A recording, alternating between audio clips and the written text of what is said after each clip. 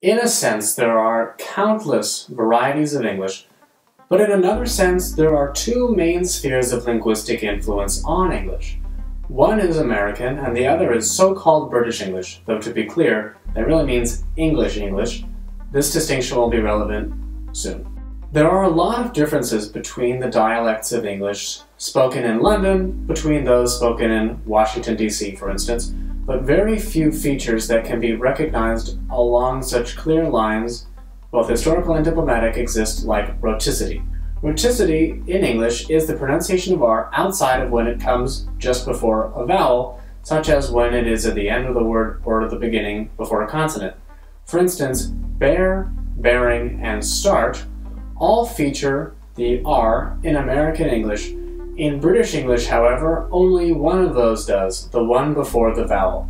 This lack of pronunciation of the R is called non-rhoticity, though really this isn't a lack of pronunciation of R, as it is a pronunciation of something else.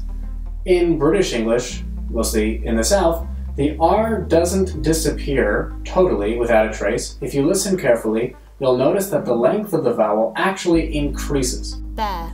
Start.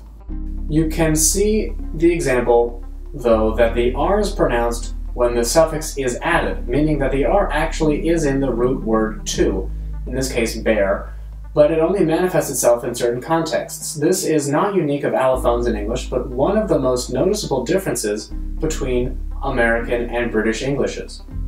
You might not be surprised to learn that the rhotic way of speaking retained in American and Canadian speech, but not Australian and New Zealand speech, is older. There are some benefits to having it, including intelligibility, such as in spa and spar, or Spa. Spa. but really, this is mostly down to luck. English people used to use the non rhotic R in very few contexts, but after colonizing the Americas, this was shifted and then imported elsewhere, hence Australia and New Zealand, etc. This isn't to say that Queen Elizabeth I sounded like how Americans sound now, as changes also occurred there too, but she wouldn't sound totally like Queen Elizabeth II. The whole situation is not as simple as this, however, because the development was not sudden and for the first time being at least continuous. Much of the attention to non-rhoticity relates, rightly so, to vowels, but it did not originate around vowels. It originated around S. Then it seems to have affected R in the way that we might expect, after a vowel, sporadically. Evidence suggests that this phenomenon was used in private but not prestigious circumstances for a long time, and that it was started by women. It is a well known phenomenon that linguistics notes that change is usually carried by women and that women tend to use whatever is more prestigious as an option when speaking. Still, it took about 200 years at least for the non rhotic R to become prestigious in England. Once this happened, many cities in the US followed suit, which is why New York and Boston dialects often have non rhotic R's. However, when radio was introduced in the US, it was the rhotic R that became prestigious and then dominant, but the opposite happened in the UK. In fact, it was not even allowed for people to use them in the BBC until the Second World War, and this was only a political move to prevent German interference. Still, the journey does not end there. While this phenomenon explains why there is a discrepancy between the European and American dialects, in broad strokes, and why Australia and New Zealand have non rhotic R's, because they were settled later, though only after the transformation happened. However, Australia and New Zealand English have what's called a linking R.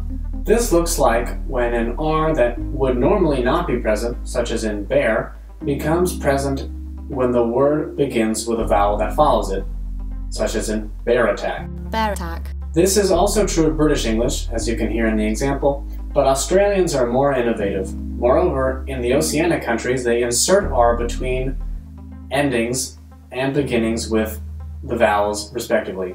This is like the linking R, but where none previously existed, such as in law and order or Law and order.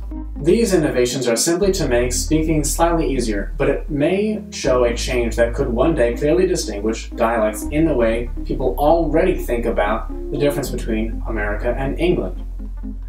For more on these sorts of trends, and what I happen to think about them, visit the main blog where there's a new post every day, or go to the Patreon so that you can get even more posts and help this channel to get even better and grow.